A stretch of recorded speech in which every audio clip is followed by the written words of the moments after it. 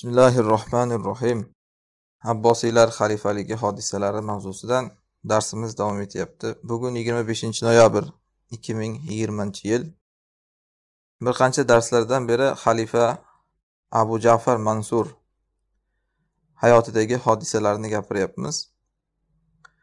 Shundan uning viloyatlarida sodir bo'lgan hodisalar haqida mavzularni o'tayotgandik. O'tgan darslarda xuroson va shom o'lkalarida bo'lgan basra iroq o'lkalarida bo'lgan hodisalarni gapirdik. Bundan keyin hijozda bo'lgan hodisalarni gapiribdilar. Uni aslida o'tdik. Hijoz ya'ni saudiya arabistoni makka madinada bo'lgan hodisalar asosan ikkita to'polon bo'ldi. Yani bitta desak ham bo'ladi uni aslida. Muhammad ibn abdullah al hasaniy qo'zg'olon qildilar ahli baytdan. O'sha kishini qo'zg'oloni bilan ovora bo'lindi. Hijriy bir yuz qirq to'rtinchi qirq beshinchi yillarda bo'ldi bu voqea. Undan keyin voliylar almashinuvi sodir bo'lgan aytgulik narsa yo'q. Uni avval darslarda ham gapirdik. Misrda ham xuddi shunday deyarli zikr qilgulik narsa sodir bo'lmagan. Afrikada faqat katta hodisalar bo'lgan shundan o'qiymiz hozir. Mavzuga kirishdan avval tushuncha hosil qilsak afrikada uchta kuch bo'lgan.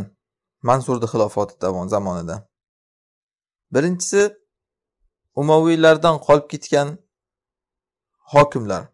Abdurahmon dohir soqir quraysh degan odam bor. Arablarda mashhur bu odam saqir quraysh deyiladi. Saqir quraysh degani aslida qurayshni lochini degani. Ya'ni judayam katta bir e, shijoatlik shijoatli odam bo'lgan u kishi umaviylardan.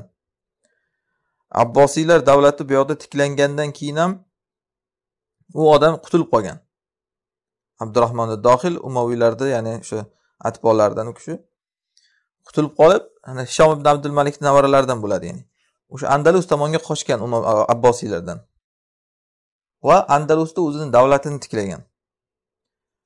Uch asrlar davom etgan davlati bu yoqda abbosiylar davlati ketaveryapti bu yoqda abdurahmon dohil soqir quraysh davlati davom etgan. Soqir quraysh deb nomlangani sababini aytdikku shunaqangi bir lochindek odam bo'lgan ya'ni. Birinchi kuch mana shu xullas. Uni hozir o'tamiz. Ikkinchi va uchinchi kuchlar ya'ni abbosiylarga qarshi bo'lgan kuchlar. Havorijlar bo'lgan. Biri safariylar davlati. Bular havorijlarni bir toifasi ibodat qilaverib sarg'ayib ketgan havorijlar shularni safariy deyilinadi avvalam ko'p darslarda tanishtirdik. Ular o'ziga imorat tiklagan hattoki. Bir yuz qirq yilcha davom etgan ularni davlati. Shuning uchun takror takror aytamiz biz hech qachon botil ahli davlat tiklasa u haq bo'lib qolmaydi. Tiklaveradi davlat lekin tezda ketadi. Kofirlar ham davlat tiklab yotdi bir yuz qirq yil davom etgan safariylar imorati o'zlarini ular xalifa deb o'ylagan odamlarga o'zlaricha shariatni tadbiq qilishgan. Va ikkinchisi iboziylar davlati. Bu ham afrikada chiqqan. Ular ham havorijlarni bir toifasi. Bular haligacha saqlanib qolgan faqat havorijligini ham yo'qotib yuborib saroymulla bo'lib ketgan. Haligacha masalan ana shu libiyada yaman diyorlarida ummon davlatlarida iboziylar bor. Havorijlar ya'ni. Faqat ular o'zi manhajini o'zgartirib yuborgan ya'ni. Xullas ana shu iboziylar davlati tashkil topgan. Ular ham bir havorijlar toifasi. Ular ham bir yuz o'ttiz yilcha davom etgan imorati ularni bu juda ko'p muddat bu. Ana shu uchta kuch asosan abbosiylarga qarshi bo'lgan afrika davlatlarida to u yog'i ispaniyaga qadar. Xalifa mansur abu jafar shu uchta kuchga urushish bilan ovora edi ya'ni.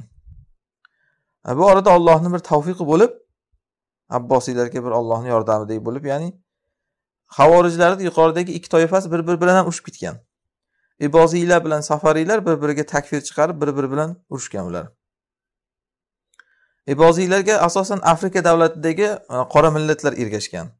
Sababi iboziy havorijlarni manhajida bir qoida borki aslida islomdagi qoida ham bu lekin ular ko'proq shunga urg'u beradi. Odamni odamdan farqi yo'q. Oqni qoradan farqi yo'q. Hamma huquqi teng degan mazhabni ular olg'a surgan. Bu aytyapmiz islomda ham shunday aslida.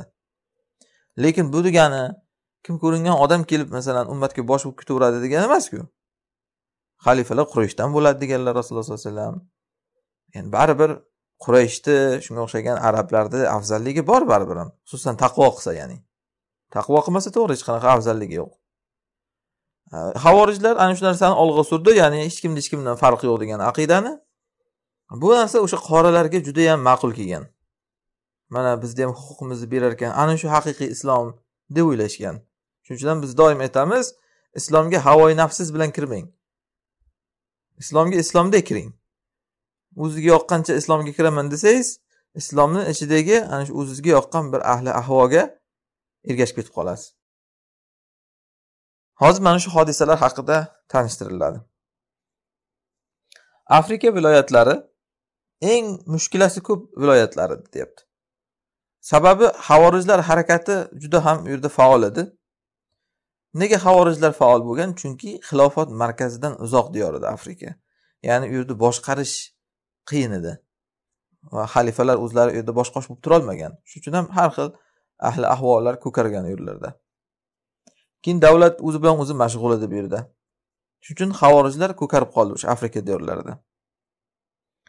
Shuningdek abdurahmon dohil yuqorida aytgan shaxsiyatimiz mana umoviylardan bu kishi. Saqri quraysh deyiladi. Quraysh lochini o'sha kishi ham andalusda o'zini imoratini tiklab oldi. Afrikada u yana xavorijlarning ikki toifasi iboziyalar bilan safariylar o'rtasida tinmay urush bo'lardi. Bular ham tanishtirdik yuqorida ikkita xavorijlar davlati. Shuningdek uqbatun nofi degan qo'mondon bor edi tarixda o'tgandik umaviylar zamonida. Shu kishini oilasi o'rtasida ham o'zaro ichki nizolar bo'lardi bola chaqalar bir biri bilan taxtalashib urushgan ya'ni. Bu orada tafilit mintaqasida safariylar havorijlari davlat tikladi o'zlariga. Tafilit hozirgi marokko davlati mag'rib. Shuni jazoir davlati bilan chegaradosh qismlaridagi bir shahar sahroviy shahar u. Ya'ni qiyin borish u yerlarga e, va lekin o'z navbatida tijorat yo'li karvon yo'li bo'lgan. O'sha yerda shu narsalardan foydalanib havorij safariylar o'zlariga bir imorat tiklagan. Mag'rib diyorida ya'ni.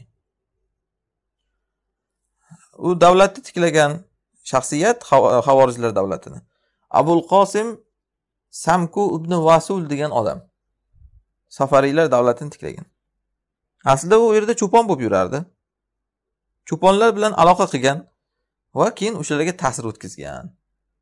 Ya'ni o'sha yerdagi odamlarga e, ta'sir o'tkazib badaviylargada ya'ni cho'pondan maqsad. O'shalarga o'zi mazhabini tarqatgan. Odatda havorijlar shu narsaga usta bo'ladi o'zi. Nafaqat havorijlar har qanday ahli bidat o'zini yo'lini tarqatishga usta bo'ladi. Chunki shayton o'shani xohlaydi yordam beradi kerak bo'lsa. Ularni adadi qirqtaga yetganda qarang bor yo'g'i qirqtagina odam to'dalashgandan iso ibn yazidul asvad degan odamga bayat berishdi o'zlariga uni amir qilib olishgan ya'ni hijriy bir yuz qirqinchi yilda. So'ngra abul qosim o'zini qavmini meknosani o'sha isoga bayat berishga chaqirdi ya'ni iso ibn yazidga. Va shundan keyin kattardi ularni davlat ya'ni havorijlarni va sijlimasa degan shaharga asos solib bino qilishdi ular. Bu ham shu mag'rib diyoridagi shaharlardan. Va xurma daraxtlari uzum daraxtlari ekildi polis ekinlar ekildi. Shuningdek daryolar bor edi u yerda shu mana qilinayotgan mana shunaqangi islohotlarini ularda bir yordam bo'lgan narsa daryolar oqardi. Xullas aytmoqchiki odamlarni jalb qilgan bular ana shunaqangi ekin tekinlar xurmozorlar bog'roqlar ekib obodonlashtirib hamma yoqni o'zlariga ergashishga odamlarni jalb qilgan. Safariylar mana shu shaharga bordilar u yerda mahalliy aholi juda ko'payib ketdi. Ya'ni havorijlar hammasi bular va shuningdek sudanliklar ularga qo'shilardi aksari. Andalusdan kelib qolgan ispanlar bor edi ularni ichida barbar millatlari bor edi arablar ham bor edi va har xil ana shunaqangi firqalar mazhablar bor edi. Bular hammasi ana shu havorijlarni safariy mazhabini o'ziga mazhab tutar edi. Bir muddat o'tgandan keyin bular amirlari iso ibn yazidni imomatdan olib tashlashdi voliylikdan ya'ni undagi yuqoridagi abul qosim samkuni qo'yishdi. Chunki o'sha bosh qo'mondon edida. Keyin isoni o'ldirib yuborildi. Iso ibn yazidni. Hijriy bir yuz ellik beshinchi yilda. Abul qosim imom bo'lib keyin davom etdi. Toki hijriy bir yuz oltmish sakkizinchi yilga qadar. Undan keyin imorat ya'ni havorijlarni o'sha safariy davlati shu abul qosimni oilasida qoldi. Holbuki bu narsa havorijlarni aqidasiga xilof edi. Imomat meros bilan olinmaslik kerak edi. Shu uchun ular aslida abbosiylarga ham umaviylarga ham qarshi chiqib kelgandi. Lekin qarangki o'zlari ham shunday qildi. Ana shundan bilasizki bularni maqsadi havoyi nafs edi. Boshliqlikka ergashish bo'lgan. Aqida yo'q ularda aslida. O'zlarini zurriyotiga qoldirib ketyapti havorijlar ham imomatini. Lekin abul qosim samku o'sha havorijlar safariylarini boshlig'i tunis shahrida abbosiylar voliylari bilan sulh tuzgan. Men senga teginmayman sen menga teginma. Shu sulh lekin juda yam xato bo'lgan. Chunki bu sulh natijasida havorijlar ko'karib qolgan. Ana hozir abbosiylarni voliylari tunis shahridagi ular indamay qo'yganidan ular kuchayib oldi. Aslida modomiki boshqa yerda urushadigan kofir yo'qmi? Havorijlar davlat tiklashiga qo'yib bermasdan ularni o'shanda sulh tuzish emas urushish kerak edi ularga. Musulmon desa ham lekin ular bog'iy xilofatni ag'darib yuborishligi mumkin. Mana afrikada o'zlarini davlatini tiklab olgan. Endi qanday qilib ular bu e, sulh tuzadi havorijlar abbosiylar bilan desa chunki bular ko'p harakat qildi. E, urushib ko'rdi abbosiylarga undan avval umaviylarga shuning uchun ham qarashganki deyarli bir aytgulik ish qilolmayapti ular urushaverib keyin sulh tuzib ko'karib olishni istagan.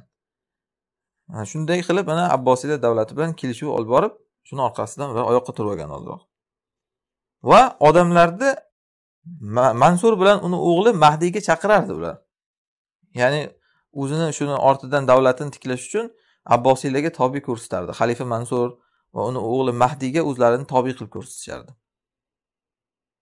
Ana shunday qilib havorijlar davlati davom etishligiga va qaror topishligiga sabab bo'ldi bu narsa. Bu safariylar endi. Hali keyin o'tamiz yana hali iboziylarni mana davlati keladi. Endi andalusga qarasak ispaniyada sodir bo'lgan yuqoridagi abdurahmon dohilni imorati abdurahmon dohil bu kishi aytdik umaviylardan aslida. Mana yerda abbosiylar umaviylarni misrgacha quvib kelganda bu kishi qochib qolgan. Shu andalusga qochib o'sha yerda imorat tiklagan o'ziga. Bir ukasi bo'lgan bu kishini. Ukasi bilan ikkalasi dengizdan suzayotganda abbosiylar orqasidan quvlagan bu kishini. Kelinglar taslim bo'linglar biz sizlarga teginmaymiz degan. Bu ishonmagan abdurahmon dohil bular ushlab o'ldiradi bizni degan.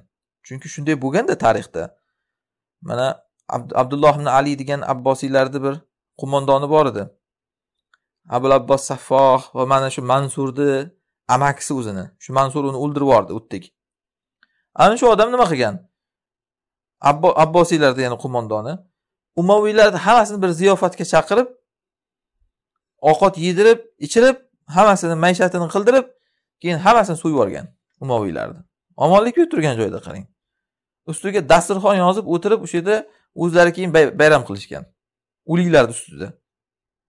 Bu narsani ko'rgan umaviylar shunchidan keyin abbosiylarni omonlik berdim degan gapiga ham ishonchi qolmagan. Xullas aytmoqchi edimki mana shu abdurahmon dohil bilan ukasi ikkalasi ana shu andalus tomonga qarab qochayotganda suvdan suzib o'tishayotganda abbosiylar quvlab keladi ortidan. Kelinglar omonlik beramiz deydi. Ukasi ishonadi. Bu kishi ishonmaydi. Oldinga davom etadi. Haqiqatdan ishonmagani to'g'ri bo'ladi. Chunki ukasini omonlik berib ushlashadida so'yib yuborishadi abbosiylar. Bu kishi shuning uchun ham qochib qolgan ana shunda keyin o'ziga andalusga borib imorat tiklagan. Lekin bu kishi o'zini xalifa demagan. Chunki bilardilar bir islom shaharida ikkita xalifa bo'lmaydi. Bu quruq bosh og'rig'ida bu o'zlariga agar o'zlarini xalifa deb e'lon qilsalar hozir. Amir deganlar o'zlarini. Imorat bo'ladi imorat bir necha bo'lishi mumkin bir biriga tobe bo'lmay lekin hammasi bir birini rioyasini qiladi. Lekin xilofat bitta bo'ladi.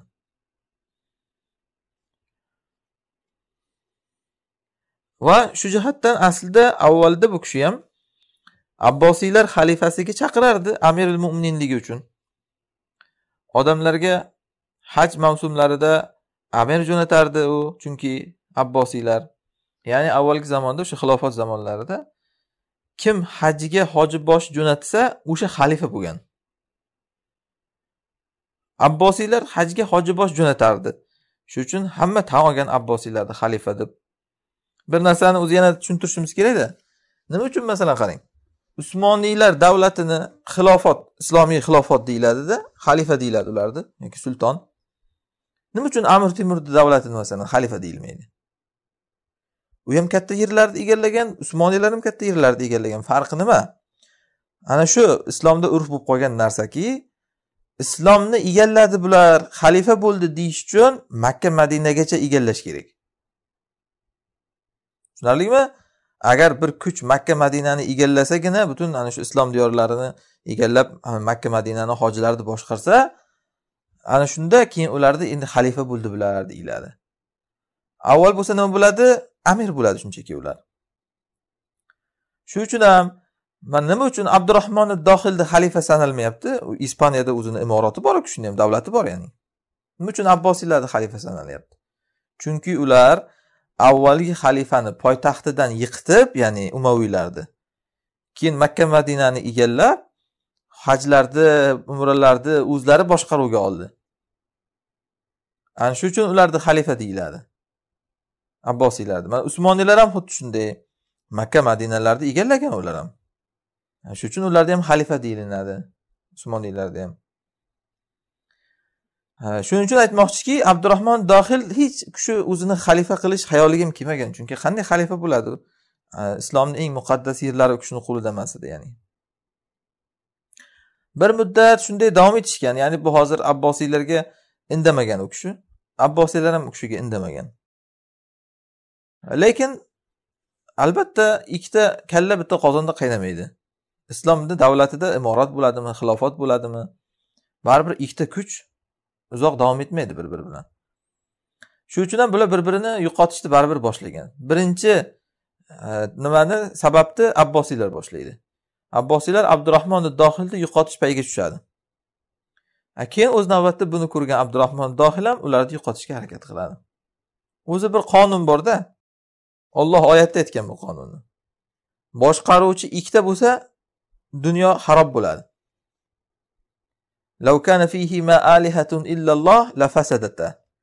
Olloh qur'onda aytadi qarang agar osmonu yerda ollohdan boshqa bir oliha bo'lgan deydi osmonu yer fasod bo'lib ketardi degan ya'ni tuz to'polon bo'lib ketardi o'zimizda aytgandek shu maqol ya'ni ikkita kalla bitta qozonda qaynamaydi albatta birini birini yo'qotish kerak bo'ladi hattoki mana mana shu xalifa mansur avvalgi qo'mondon abul muslimul xurosoniyni yo'qotishni ba'zi o'zini yordamchilaridan maslahat qilib so'raganda yordamchilari unga aytadi.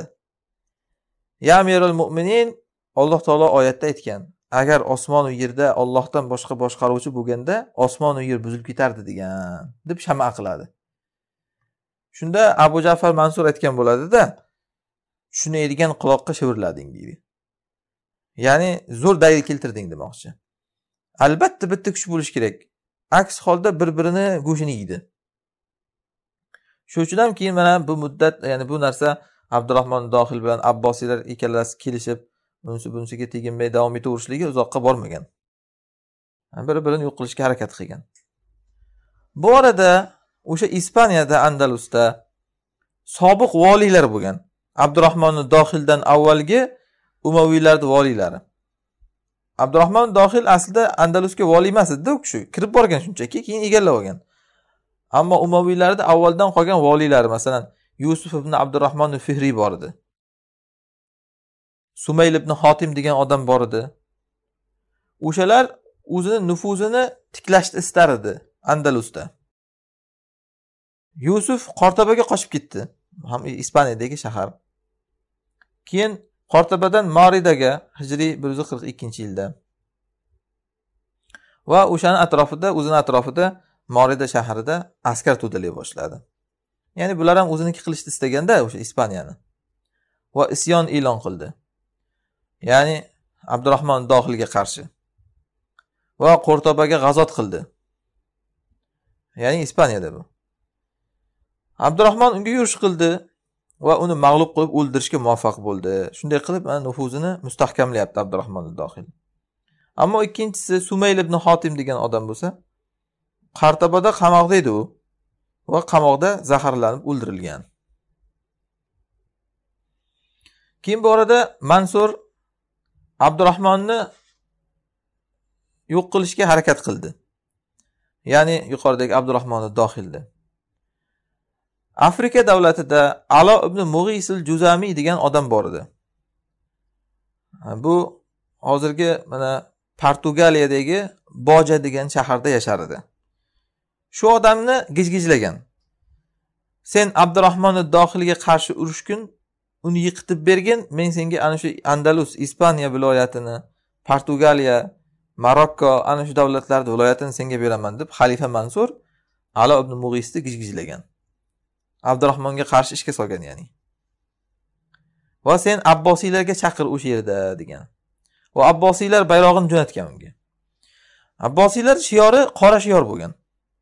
Ular xurosondan chiqqanda abu muslim xurosoniy qora bayroq ko'tarib chiqib kelgan abbosiylarga. Shuning uchun ham qora salla kiygan ular. Kiyimlari ham qop qora bo'lgan. Bu abbosiylarga xiloflar shuning uchun oq libos bilan chiqqan ular. Ular oq bayroq ko'tarib chiqishardi. Abbosiylarga xiloflar. Oq salla o'rab chiqishgan oq kiyim kiyib chiqishgan. Abbosiylar bo'lsa nima deydik? Qora bayroq ko'tarib chiqardi ular. Qora salla kiygan va qora libos kiyib yurgan. Xalifalarigacha hattoki abbosiylar xalifalar ulamolarga qora salla kiyishlikni qonun qilib qo'ygan. Bizda afg'onistonda qora salla kiyish ana shundan qolib ketgan. Mana tolibonlar mana ko'rasiz. Va pokiston mintaqasidagi musulmonlar ko'pchiligi qora salla kiyib yuradi. Ana shu abbosiylardan qolib ketgan shior. Ular u narsani hadislardan olishgan. Chunki rasululloh sollallohu alayhi vasallamni bir bayroqlari qora bo'lgan. Bu haybat ibn kasir rahmulloh aytganlar qiyomatdan avval mahdiy chiqqanda ham unga bayat beradiganlarni bayrog'i qora bayroq bo'ladi deyilgan. Sababi bu unga haybat deganlar ibn kasir rahmulloh ya'ni qora haybat beradi odamga. Abbosiylar shulardan ilhomlanib demoqchiman. O'zlariga qora narsani shior qilib olgan. Endi ana shu narsani hozir qora bayroqlarini o'zlarini qora shiorlarini abbosiylar afrikaga yuqoridagi alo ibn mug'isga jo'natyapti. Sen o'sha andalusga borginda ana shu bayroq ko'tarib qo'zg'olon qil degan. Abdurahmonga qarshi chiq dedi ya'ni. Abbosiylarga chaqir dedi.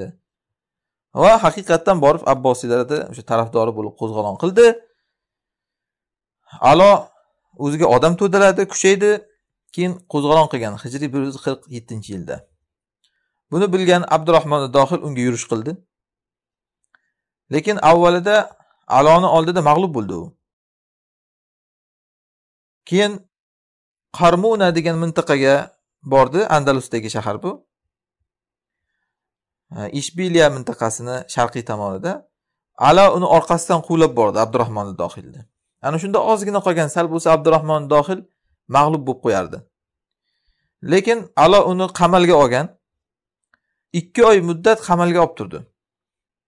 Ana shu ikki oy qamal muddati uni keyin o'limga rozi bo'lib bor kuchini tashlab aloga urushishlikka majbur qilgan abdurahmonni ya'ni. Ikki oy qamal chunki odamni qiynab tashlaydida. Abdurahmon ko'rdiki endi boshqa chora yo'q. Albatta ana shu yerda fidoyilik qilish kerak. Fidoilik degani ya'ni o'lguncha urushish kerak. Hozir chunki ushlasa ham o'ldiradi baribir abbosiylar uni. Ana shunda bor kuchini ishga solganda e, qamaldan chiqib yuqoridagi aloga qarshi urushni boshladi. Yetti yuzta o'zini eng yaxshi chavandozlari bilan urushga chiqdi. Va ularni raqibi adadi hisob kitobsiz edi ya'ni abbosiylarni tarafdorlari. Lekin shunga qaramay qarang shuncha ko'p abbosiylarga qarshi yetti yuzta kishi bilan o'zidan qamalni yechib yuborishga muvaffaq bo'ldi va dushmanni bosdi va aloni o'ldirdi. Abbosiylar jo'natgan mana qo'mondon aloni.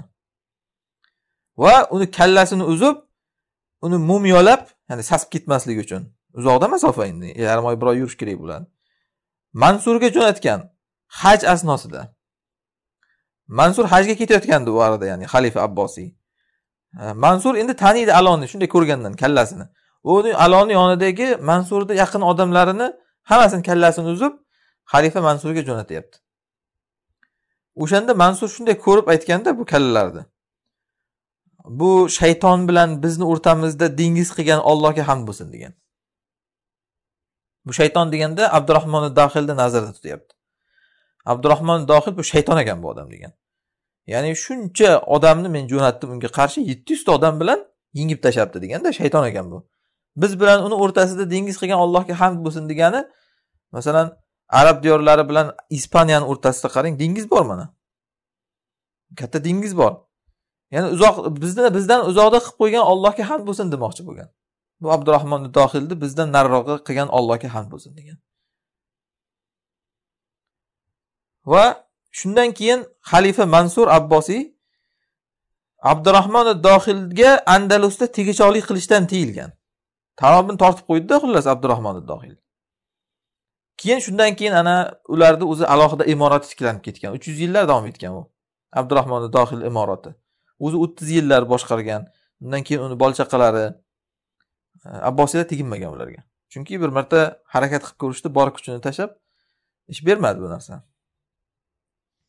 Va mana shunda xalifa mansur yuqoridagi abdurahmon dohilni saqro quraysh deb nomladi. Saqro quraysh degani qurayshni lochini quraysh qabila lochin degani haligi ovchi qush bo'ladiku. Shunaqangi shijoati uchun shunaqa deb nomlaganda bu kishini ya'ni. Mana bu tan berdi ya'ni abdurahmon dohilga. Ana shu paytda endi abdurahmon abbosiylardan uzildi tamomiy. Xutbada ham ularni zikr qilmay qo'ydi. Avval shunday urf bo'lganki amirlar xutbalarida xalifalarni zikr qilish kerak bo'lganda bu aslida shar'iy ish emas hech qanaqangi. Buni o'sha xalifalar o'zlari chiqarib olgan. Ya'ni masalan hozirgi zamondagidek mana yurtboshimizga rahmat shuncha islohotlar qilib yotdilar degan gaplar bo'ladiku masalan. Ana shunga o'xshash abbosiylarni ham zikr qilish kerak bo'lgan minbarlarda. Bundan avval umaviylar ham shunaqa bo'lgan ko'plari. Lekin mana bu yerda abdurahmon dohil abbosiylarni tormor qilgandan keyin xutbada ularni ismini zikr qilishlikni to'xtatdi. Lekin baribir o'zini xalifa demadi u kishi. Chunki aytdik sababini makka madina boshqa shunaqangi muqaddas yerlarni egallamagan faqat islom fikri bilan muqayyat bo'lib qoldilar. Ya'ni musulmon imorat islomiy imorat degan fikr bilan o'sha yerda andalusni boshqarganlar. Va bu yerda o'zi boshlab muxolif chiqishlikni istamadi. Ya'ni xilofatni parchalashni istamadida. Nima bo'lganda ham xalifalik shu abbosiylar boshqarib yotdi. Menga tegingani yo'qmi? Men ham ularga teginmayman degan. Mansur unga shuncha baribir zulm qilsada ya'ni sal bo'lsa mana qatl qilib yuborardiku abdurahmonni. Lekin endi u baribir teginmagan u chakishmagan mansurdan keyin o'g'li xalifa bo'ldi e, mahdiy ya'ni mahdiy bilan ham u. Chakishmagan u abdurahmon darhil. Xullas mana bu afrikada sodir bo'lgan ikkita kuchli hodisadan ya'ni ikkita kuchlar shularni hodisalari. Birinchisi safariy havorijlarni ikkinchisi abdurahmon dohilni andalusdagi imoratini tanishdik. Yana o'tilaveradi hali bu keyingi darslarda ham mahdiyni xilofatida ham endi havorijlar haqida mansurni xilofatida chiqqan havorijlar mansur xilofatida havorijlar juda ham faollashgan. Mashriq tomonda ular unchalik faol emas edi. Ya'ni masalan xuroson afg'oniston tomonlarida havorijlar faol emas. Mag'rib tomonlarda faol edi. Mag'rib degani mana shu afrikani atlantika okeani bo'yi davlatlarini mag'rib deyiladi. Mag'rib degan davlat bor o'zi mana marokko. Undan berirog'ida mana mavritaniya undan avvalroqda jazoir bor tunis libiya. Ana shu yerlar mag'rib diyorlari deyiladi. Hammasida havorijlar urchigan shularni. Bu avval darslarda aytgandek afrika davlatlari uch uch xil mag'rib diyoriga bo'lingan avvalgi zamonlarda. Yaqin mag'rib hozirgi libiya davlatiga to'g'ri keladi. O'rta mag'rib hozirgi tunis jazoir davlatiga to'g'ri keladi. Uzoq mag'rib u marokko davlati shu mavritaniya ana o'sha yerlarga to'g'ri keladi. Uchalasida ham bu mag'riblarda havorijlar faol edi. Ular mashriqda qo'zg'olonni juda ham tor doirada qilardi. Xuroson shunga o'xshagan joylarda. Bir jamoat chiqardi havorij bo'lib mintaqada. Keyin xalifani askarlarini oldi mag'lub bo'lib ketishardi. Xalifani ya'ni yordami kelardi askarlari va havorijlari tormor qilib tashlanardi. Bir mintaqadan boshqa mintaqaga qochib yuraverishardi keyin tog' toshlarda havorijlar ya'ni. Bular mashriqda zaif faol bo'lishligini sababi davlatni mag'ribdan mashg'ul qilish uchun edi. Toki mag'ribda ular tamkinga erishsin. Bularni siyosatini qarang. Aytmoqchiki havorijlar mana xuroson davlatlarida nomiga qo'zg'olon qilardi. Xalifani shunday nazarini o'ziga qaratishardida xalifa keyin bir guruh qo'shin jo'natsa qochib qolardi. Tog'u toshga yoqdan bu yoqqa qochib yuraverardi xalifa havorij chiqibdi mashriqdan deb ularni quvlash bilan ovora bo'lardida ular nima qilgan bu orada? Xalifa mashriq bilan ovoraligidan foydalanib mag'ribdan davlat tiklagan. Yumron qoziqqa o'xshaydida bu mayadan qoziqdan ayadan chiqib turadiku. Ana shunga o'xshaydi ya'ni. Havorijlar shunaqa taktika qilardi abbosiylar davlatida. Bu aslida musulmonlar ishlatishligi kerak bo'lsa yaxshi ish mana shu. Nomiga mayerda bir e, davlatga qo'zg'olon qilayotgan yoki qarshilik qilayotgandek qilib ko'rsatadida o'zini aslida haqiqiy ish boshqa joyda qilinadi. Chalg'itadi ya'ni. Bu orada mana bir havori chiqdi. Mulabbad ibn harmala degan ashayboniy hijriy bir yuz o'ttiz yettinchi yilda jaziradan chiqdi. Jazira jaziratul furot shom iroq o'lkalari. Mingta jangchi bilan chiqdi qarang. Havorij hammasi bular. Va xalifani quvvatini yengib tashladi hattoki. Keyin xalifa yangi kuch jo'natdi u yerga humayd ibn qohtaba boshchiligida. U ham mag'lub bo'ldi. U ham qamalda qolib ketdi. Keyin mulabbat bilan sulh qilishga majbur bo'ldi hattoki. Yuz ming berasan degan qarang yuz ming dirham. Yuz ming dirham havorijlarga tovon puli to'lab jizya berib ya'ni yoki jizya demasak ham o'sha soliq berib xalifalarni kuchlari ularni o'zidan daf qilgan. Shu darajada kuchaydi havorijlar ya'ni. Mulabbat bunga rozi bo'ldi. Yuz mingni olgandan keyin e, xalifa abbosiyni quvvatidan qamalni yechib yuborgan. Keyin bir muddat o'tib abbosiylar yana bir qo'mondoni hozib ibn huzayma havorijlarga o'sha mulabbatga yurish qildida hijriy bir yuz o'ttiz sakkizinchi yilda unga g'alaba qildi havorijlarga va havorijlar boshlig'i yuqoridagi mulabbatni o'ldirdi. Shuningdek yana bir havorij osim ibn jamil degan havorij chiqdi. Ular endi hozir biz bir dona havorij chiqdi degani emas bu aytayotganimiz ular boshliq bular. Mana mulabbat ham o'zi mingta odam bilan chiqdi. Osim ibn jamil degani ham bu boshlig'ini ismi ularni o'zlarini atbolari bo'lgan hammasini. Ular umaviy e, abbosiylar qo'mondoni habib ibn abdurahmonni yengishga muvaffaq bo'ldi. U qobisga qochib ketdi habib ya'ni. Keyin osim qoyravonga kirib oldi shunda. Qoyravon tunis. Abbosiylarni nimalari qochib ketganidan foydalanib qo'mondonlari e, va o'sha sobiq umaviylarni qo'mondonlari ham bo'lgan tunis diyorlarida. O'sha yerdan xullas mana nimalar amirlar qochib ketganligidan foydalanib havorijlar kirib oldi. Hijriy bir yuz o'ttiz to'qqizinchi yilda tunisni egallashdi ya'ni. U yerga tunisga abdulmalik ibn abul jaad degan odamni amir qilishdi o'zlariga. Havorij bu ham. Va yuqoridagi osim ibn jamil bo'lsa habibni ortdan quvladi. Qobis mintaqasiga qochib ketgandida habib.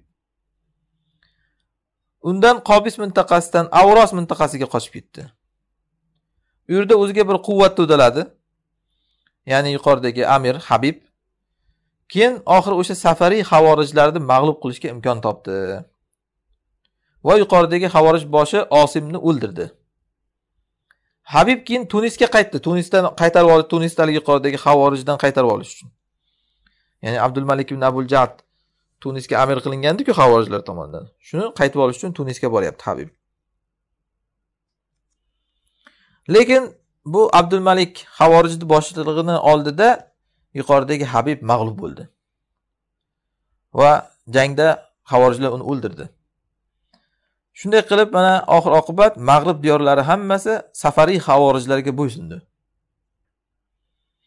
Ammo endi iboziy havorijlar iboziylar bular mana e, yuqorida aytdik haligacha bor. Ular aqidasi mo'taziliylarga o'xshaydi. Qiyomatda ollohni ko'rib bo'lmaydi deydi. Э, shafoatni inkor qiladi ba'zi firqalar ularni э, hozir mana ummon diyorlarida haligacha bor iboziylar toifalari. Lekin bular havorijligini ham yo'qotib yuborgan. Saroymulla bo'lib ketgan ya'ni. Iboziylar ularni kattalari mashriqdan hijriy bir yuz qirqinchi yilda qaytishdi.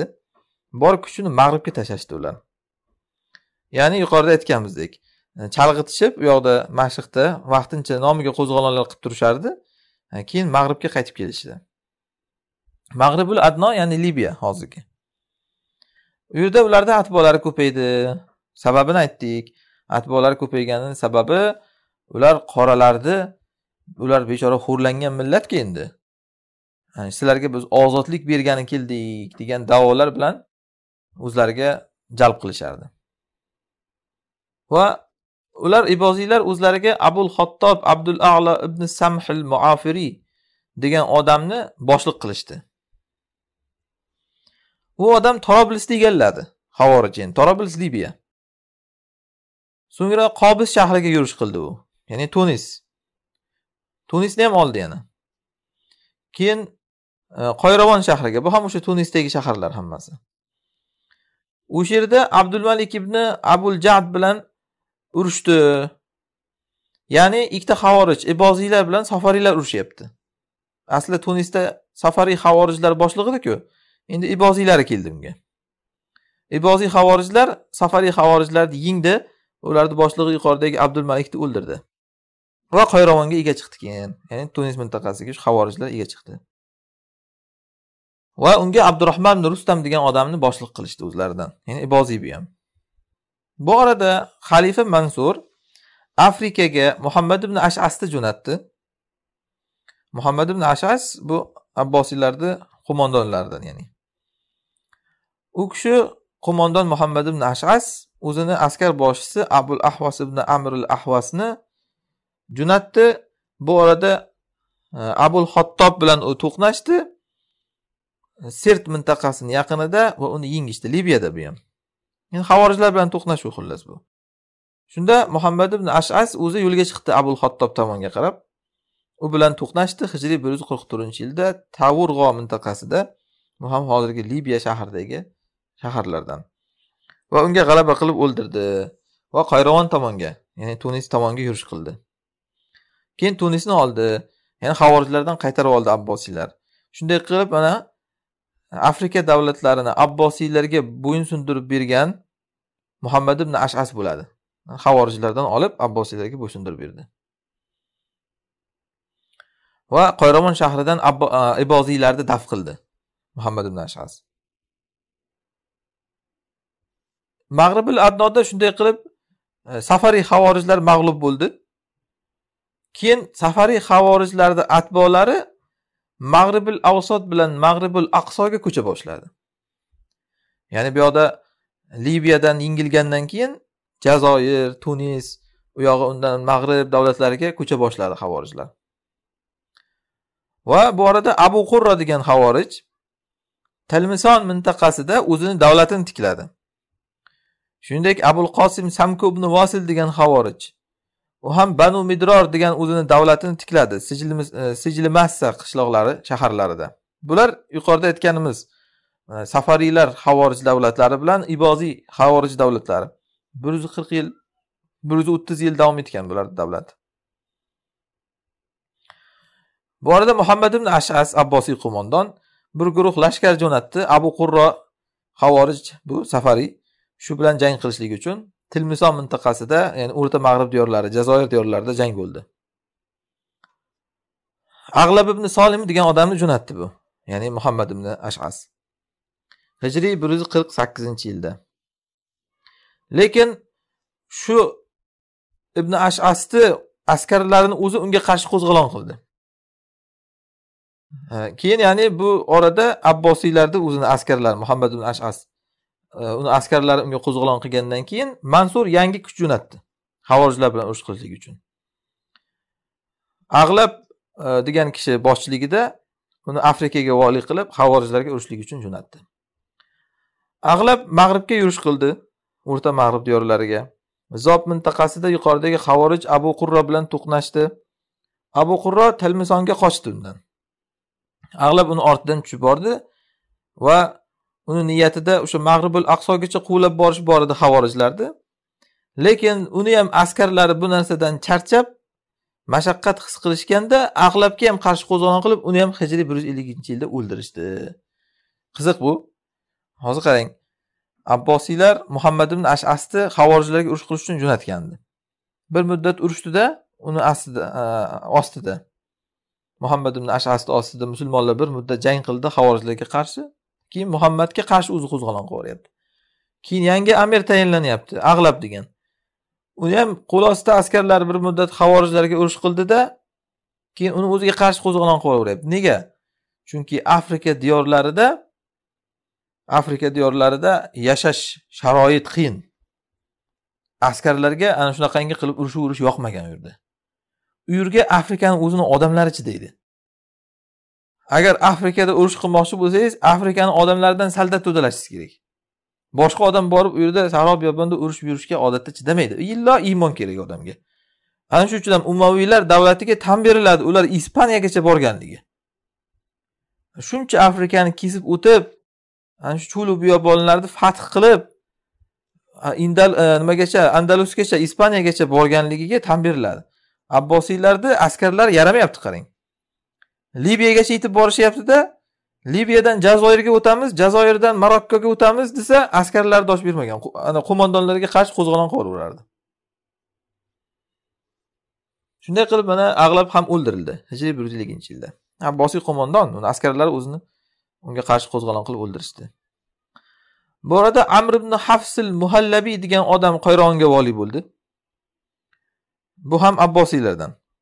U pokistonda voliy edi avval pokistondan o'sha tunisga qoyrovonga qo'yilgan. Bu yo'lida toroblisni qaytarib oldi. Ya'ni libiyani tunisga ketishda qaytarib oldi. Abbosiylar hukmiga o'tkazdi. Unga yana havorijlar kirib olgandi. Havorijlardan abu xotim al malzuziy degani chiqqan edi. Libiyada ya'ni hijriy bir yuz elliginchi yilda. O'sha havorijdan qaytarib oldi bu. Shunday qilib amr ibn habs qoyravonda o'rnashdi. Keyin mag'ribul avsot jazoir tomonga yurish qildi. Safariy havorijlarni bosdi. Keyin zob mintaqasida o'rnashdi. Abu xotim havorij uni ortdan quvlab kelardi. U havorij qayromonni qamalga oldi. Tunisda ya'ni hijriy bir yuz ellik uchinchi yilda. Lekin bir muddat o'tib haligi qamaldan hech qanday natija chiqmagandan keyin tashlab ketgan u havorijlar tunisni va amr ibn hafsni ortidan tushdi. Amr ibn hafs tobna mintaqasida qochib yurgandi havorijlardan. Uni oldiga havorijlar har xil jihatdan keldilar. E, Iboziyalar unga ergashdi. Abu xotimga ya'ni va abdurahmon rustam degan havorij boshliqlari. Va safariylar keldi abu qurra boshchiligida abdulmalik ibn sakradid degan havorijlar jarir ibn masud xullas bular hammasi shu afrikadan chiqqan havorijlar. Oxiri safariy havorijlar abu qurro boshchiligida tobna mintaqasini qamalidan chekinishdi. Bu orada amr ibn hafs abu xotim degan yuqoridagi havorijni va abdurahmon rustam degan va boshqa ularga qo'shilgan havorijlarni yengishga muvaffaq bo'ldi. Iboziyalar keyin e, qoyrovon tomonga tunisga yurish qildilar. Ulardan avval e, amr ibn hafs tunisga kirib oldi va iboziyalarni qamalga oldi. E, iboziyalar uni o'sha yerda qamalga oldi. Oxiri shu qamalda yuqoridagi abbosiy qo'mondon amr ibn hafs ham qatl qilindi havorijlar tomonidan. Undan keyin uni askarlariga ukasi jamil ibn sohir boshliq bo'ldi. Shunda abu xotim yuqoridagi iboziy havorijlarni boshchilig'i u bilan sulh tuzdi. Mana shundan keyin mana havorijlar kuchaygan ya'ni abbosiylar ularga oxiri taslim bo'lganday bo'ldida sulh tuzdi ular bilan ya'ni. Havojlar bilan sulh tuzish joiz qachon? Agar birlashib boshqa kofirga urushamiz deyilsa. Aks holda joiz emas. Chunki bu ularni kuchayib ketishligiga olib keladi ularni indamaslik. Masalan oldimizda bir kofir bor. Agar hozir abbosiylar mana shu yerda kelinglar urushmaylik bir birimiz bilan ispanlarga urushaylik fransuzlarga urushaylik rumga urushaylik dengizdan o'tib deyishganda bu judayam a'lo ish bo'lardi. Ular unday qilmayaptida sulh tuzyaptida lekin jihod qilmayapti. Bu faqatgina havorijlarni foydasiga bo'lgan. Abbosiylarni ziyoniga bo'lgan. Chunki sulhdan foydalanib havorijlar kuchayib olgan ya'ni iboziylar o'sha safariylar. Bu orada amr ibn hars qatl qilinishidan avval muhanna ibn muharroq muhoriq degan kishini abu qurra xorijiyni ortidan jo'natganda u odam borib uni o'ldirishga muvaffaq bo'ldi. Ya'ni abu qurra havorijiy ham qatl qilindi. Keyin yana bir abbosiy qo'mondon keldi afrikaga. Yazid ibn xotim muhallab ibn abu sufronni nevaralaridan bo'ladi u kishi. Hop bu kishi ya'ni afrikaga amir bo'lib keldi hijriy bir yuz ellik beshinchi yilda. Shunda yuqoridagi havorij boshi abu xotim uni e, Xoyravondan unga yo'liqishlik uchun yo'lga chiqdi. Va uni askarlarini avvalgi qismini yengdi. Lekin o'zi ham oxiri abu xotim havorijiy yuqoridagi yazid ibn xotimni qarshisida mag'lub bo'ldi va yazid ibn xotim qayrovonga tunisga kirib bordi. Keyin bu orada yana bir guruh iboziy havorijlar abu yahyo ibn funas degan odam boshligida qo'zg'olon ko'tarib chiqdi tunisdan. Havoro qabilasi ularni atbolaridan edi.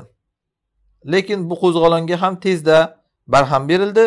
Ular yuqoridagi boshlig'i abu yahyo al ibn funas o'ldirildi va uning ommatan ashoblari ham hijriy bir yuz ellik oltinchi yilda qatl qilindi. Shuningdek yuqoridagi abbosiy qo'mondon yazid ibn xotim mag'ribul adnodagi iboziya toifalarini hammasini mag'lub qildi. Ya'ni havorijlar shunday safariy havorijlarni ham mag'lub qildi. Mag'ribul avsot diyorlari ya'ni o'rta hozirgi mag'rib jazoir bu ya'ni. Va bu orada o'zini o'g'li muhallabga suyanardi. Alo ibn said degan qo'mondonlarga yordamchilarga suyanardi. Shunday qilib yazid ibn xotim xullas mag'ribda abbosiylar nufuzini o'rnatib berdi. Mansurni xilofati tugashligidan avval.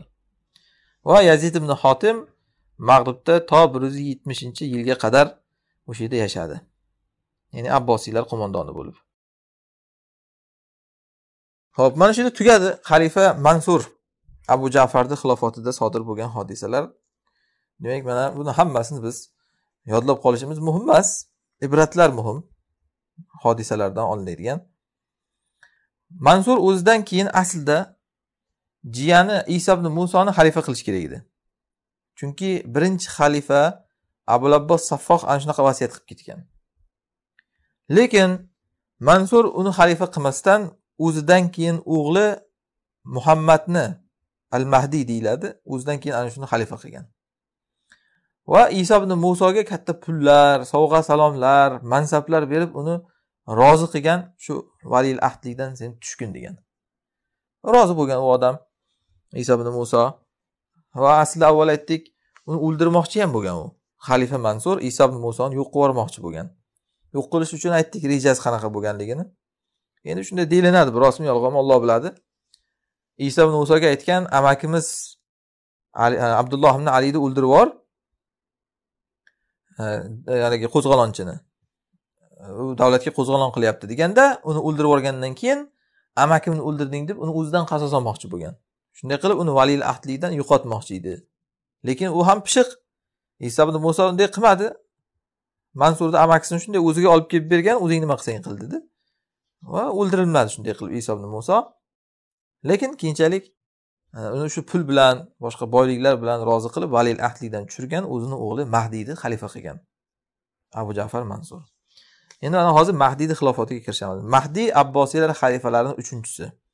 Muhammad ibn abdullah al mahdiy deyiladi. Hijriy bir yuz ellik sakkizinchi yildan hijriy bir yuz oltmish to'qqizinchi yilga qadar xalifa bo'lgan. Bu nimaga mahdiy deyilishligini aytdik. Abbosiylar mahdiy bizdan chiqadi degan.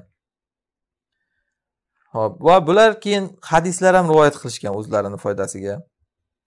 Bizdan saffoh bor bizdan mansur bor bizdan mahdiy bor deb rasululloh sollallohu alayhi vasallam shu aytgan ekanlar degan hadis rivoyat qilishgan. Bu zaif hadis ba'zilar aytgan to'qima hadis degan. Abbosiylarni saroy mullasida o'qigan bu hadisni. Ya'ni rasululloh sollallohu alayhi vasallam go'yoki aytganmishlarki uchta xalifani qarang ketma ket sanagan ekanlar. Birinchisi saffoh bor bizdan degan ekanlar. Saffoh abbosiylari birinchi xalifasi. Mansur bor bizdan degan ekanlar. Mansur ikkinchi xalifasi. Mahdiy bor bizdan degan ekanlar. Mahdiy uchinchi xalifasi. Ana shunday qilib abbosiylarni salomullalari ularga hadis to'qigan. Mahdiy bo'lishlikka bu odam o'zi ham ishqiboz bo'lgan. Muhammad ibn abdullah al mahdiy o'zini o'qishgan ham o'sha hadislarda kelgan mahdiy sifatlariga masalan halimligi sadaqadan umuman pulni ayamasligi mahdiy sifatlarida rasululloh hadisda aytganlarku ya'ni sochib sochib beradi pulni sanab o'tirmaydi deganlar. Ana shu sifatlarda o'zini o'xshitgan ham bu mahdiy ya'ni. Lekin mahdiy bo'lmadi. U endi nasib qilganga bo'ladi. Ammo nima bo'lganda ham solih odam bo'lgan baribir ham. Shu ta'sir qilgan o'sha mahdiyni sifatlari unga ta'sir qilgan haqiqatdan o'zini o'shanga o'xshatishligi ham. Saxovatlik masalan halim odam bo'lgan mana nimalarni qamoqxonadan odamlarni chiqargan. Xususan buni otasi mansur ali roziyallohu anhuni hasanni zurriyotini qamoqqa tiqib tashlagandiku hammasini qo'zg'olonchi deb. O'shalarni hammasini qamoqxonalardan chiqargan bu odam mahdiy ya'ni. Hozir tarjimai holida o'tamiz. Lekin shunda ham qarang shunday bir solihroq odam solih desak ham bo'laveradi endi. O'sha xalifalarga endi bo'lsa shuncha bo'ladida. Shunday bo'lsa ham baribir o'sha zamonda ham ko'p ulamolar ana shunday xalifalarga ham qozi bo'lishga rozi bo'lmagan. Mana sharikul qoziy degan shaxsiyat o'tgan tarixda katta qozilardan. Shurayhul qoziy emas bu sharik. Shu kishini mahdiy olib keladi oldiga. Sizga uchta shart qo'yaman bittasini tanlashga majbursiz deydi.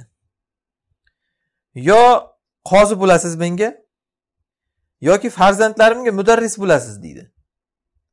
Uchinchisi yo o'tirib meni ovqatimni yeysiz deydi. Tanlang qaysi birini qilasiz?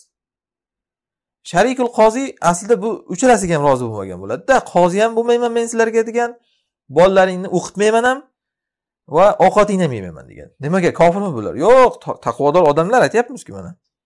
Sababi xalifalar bo'lgan taqdirda ham ularga saramullalik qilish kerak bo'lgan. Ularga haligi munkarga sukut qilish kerak bo'lgan ba'zi narsalarda ularga indamaslik kerak bo'lgan ulamolar shuni xohlamagan. Shunday taqvodor xalifalar bo'lsa ham. Sharik o'ylab turib eng osoni shu ovqatsiz yeb qo'ya qolay degan bo'lmasam qarang qozi bo'lishga rozi emasligi endi mayli tushunarli. Bolalarni o'qitsa nima qiladi? Nima yomon joyi bor? Xalifani bolalarini o'qitish. Hozir tasavvur qiling bu mullaga prezident aytsa meni bolalarimga din o'rgat desa sajda qilib yuboradi to'g'rimi prezidentga e qanaqa narsa kerak senga bundan ortiq? Nonko'r deydi. Nima qiladi xalifani bolasini o'qitsa? Xalifani bolasini o'qitsangiz xalifaga siz yoki uni bolasiga qul bo'lib o'qitasiz. Ya'ni e, o'qing e, deb haliginga borib yalinib ilmni hurmatini poymol qilasiz. Ilmni izzatini poymol qilasiz. Э, dars qilmadingizmi bunday qilmangda dars qiling deb. Masalan odam shunaqa bo'ladida podshohni bolasini o'qitgandan keyin. O'zi xohlagandek o'qitolmaydi uni urishib so'kib. Ana shuning uchun ham o'shalarni bolalarini o'qitishni istamagan ulamolar. Mana imom buxoriy ham buxoro amirlarini bolalarini o'qitishni istamagan. Kerak bo'lsa kelsin oddiy odamlarga o'xshab o'tirsin oldimizda degan. Mana shu mahdiyni o'zi ham yoshligida ana shu sharikni oldiga boradi. Unga borib hamma shogirdlarini ichidan o'tib olib xalifani bolasiman debda ya'ni mahdiy. Sharikni oldida unga savol beraman deganda savolni eshitmaslikka bo'lgan olgan sharik? Eshitmaydi ham savolini ya'ni. Shunda mahdiy unga qarab aytadi siz xalifalarni bolalarini nazaringizga ilmaysiz shekilli deydi. Sharik aytadiki bizda xalifani bolalari bilan ko'chadan kelgan boshqa bitta odamni begona musulmonni bolasi bir xil. Agar ilm olmoqchi bo'lsang safda tur deydi. Xalifani bolasi bo'lsang ham. Shunday bo'ynini egib mana shu mahdiy borib o'sha e, bolalar bilan safda turadi. Ilm ana shunaqa olinadi deydi. Podshoni bolasimisan gadoyni bolasimisan hamma qatori tur oldimga kelib olma odobsizlik qilib deydi. Ana shu uchun ham endi sharik qarang mana. Chaqirtiradi e, sharik debman. Mahdiy ana shu sharikni chaqirtiradi xalifa bo'lgandan keyin. Shu uchta taklifni birini qabul qiling deydi. Yo endi meni bolalarimni o'qitasiz xos o'ziga dars berasiz deydi ya'ni. Yoki ana shu qozi bo'lasiz menga? Yoki ovqatimni yeysiz deydi. U kishi o'ylab turib shu ovqatsiz yeb tinchgina ketib qolay shu yerdan deydi nima bo'lganda musulmon kishi ovqat beryapti. Nima zarari bor? To'g'rimi? Deb o'ylaydi. Mansur oshpazlariga aytadi e, xalifa mahdiy mansur debman oshpazlariga aytadi bunga eng shirin taomlardan pishiringlar deydi. Asal bilan mayiz bilan har xil iliklar bilan sho'rvalar pishirib shunday shirin ovqatlarni qilgandan keyin oshpaz aytadi mahdiyga qarab. Agar sharik qozi bu ovqatni yesa aniq sizga qozi bo'ladi endi deydi. Subhanalloh ana shu yerda sharik haqiqatdan ham xato qiladilar. Endi gunohkor bo'lmaydi to'g'ri lekin haligi istamagan narsalarini qilishga majbur bo'ladi keyin. Ovqatni yegandan keyin haqiqatdan qozi ham bo'ladi keyin.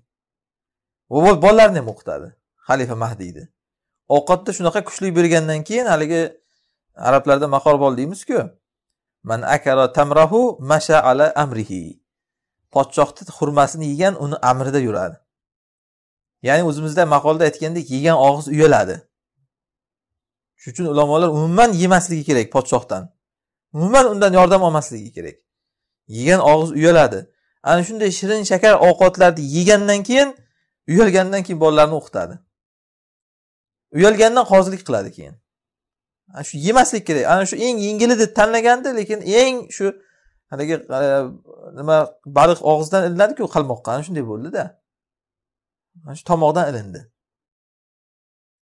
Va shu shunday mana abu yusuf rahmaulloh qozilik qilgan bu kishiga mahdiyga abu hanifa rahmaullohni shogirdi.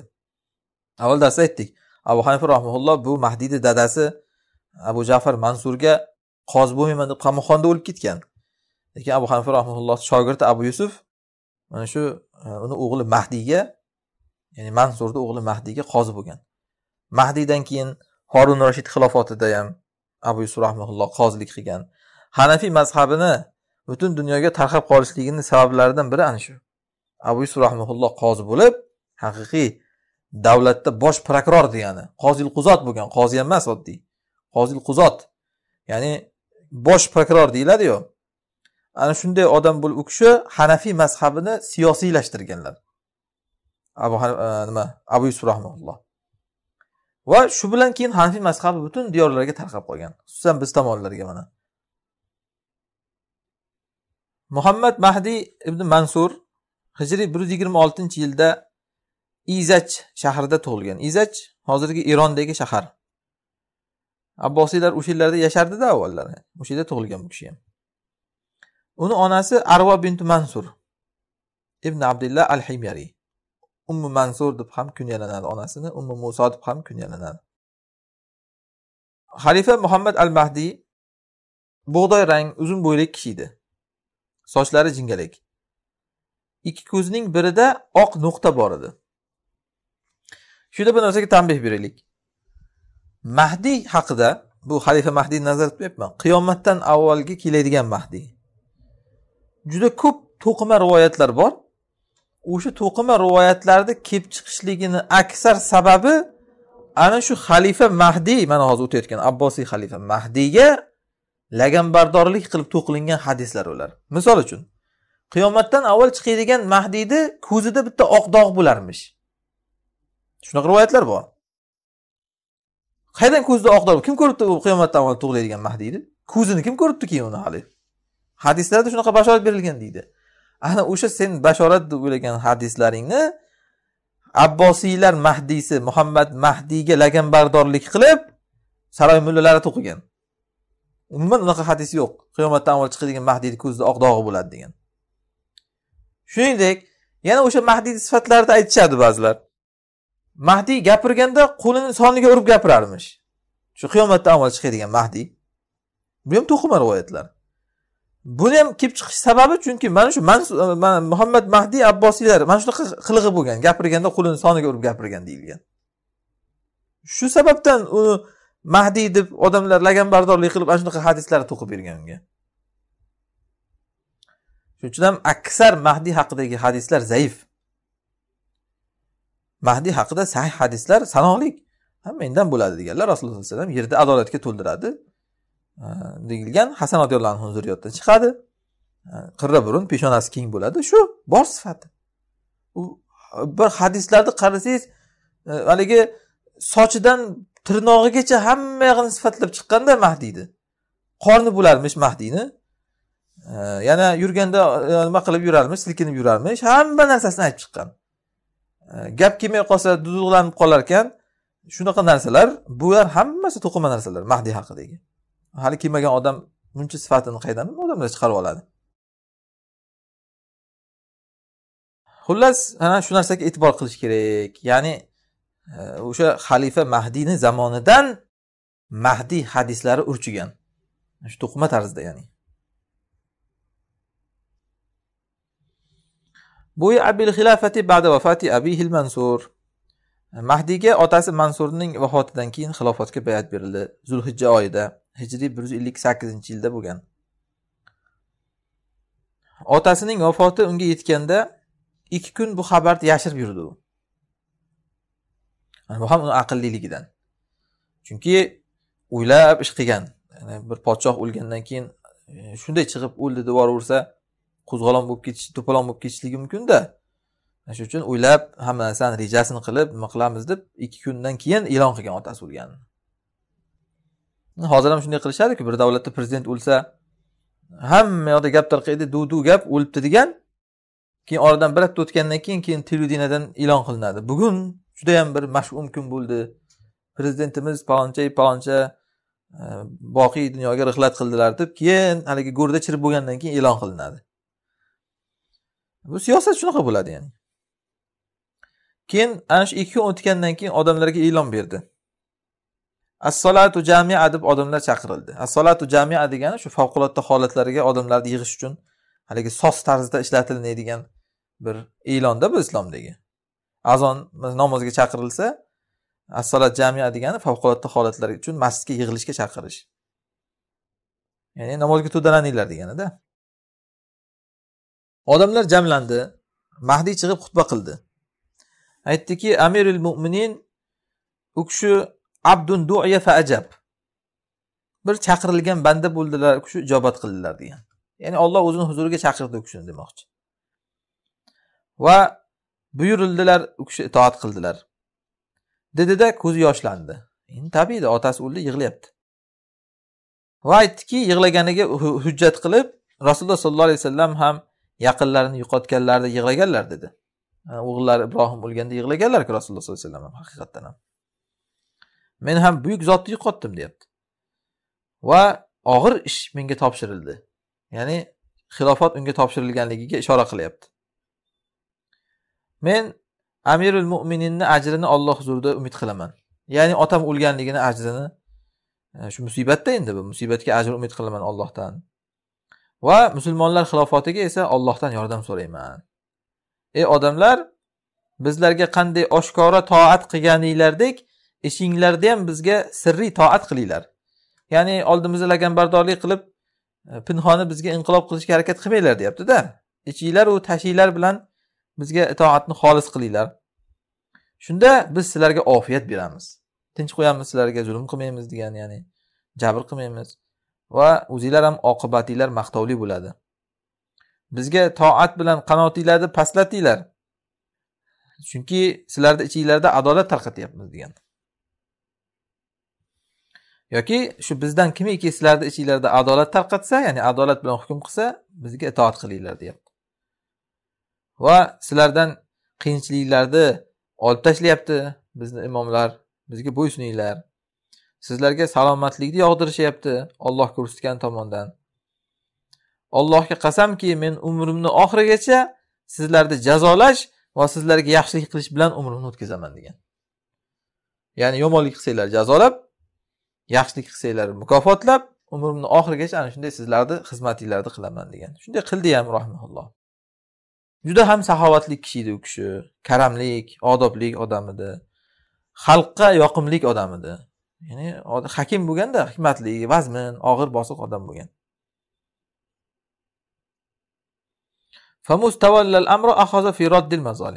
Mana xalifalikka bosh bo'lgan kundan zulmlarni rad qilishni boshladi. Ya'ni mazlumlarni haqqini olib berishni boshlagan. Va jamiki otasi jamlagan mol mulklarni olib chiqib odamlarga tarqatib yuborgan. Ana shu mahdiyni sifatida kelganda chunki qiyomatdan avvalgi. E, yu'til mala hasyan va la yaudduhu addan deganlar. Molni olib chiqib sochib beradi sanab bermaydi deganlar.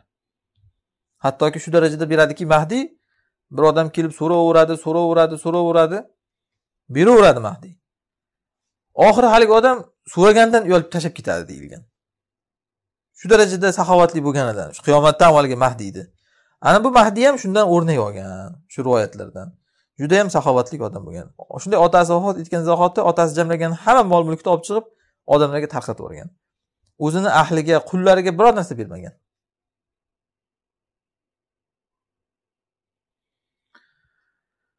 Endi bundan keyin mana buni sifatlari hali davom etar ekan bu mavzu uzun mavzu. Inshaalloh keyingi darsda mana shu xalifa mahdiyni siyrati haqida yana mavzularni davom ettiramiz. Allohu alam.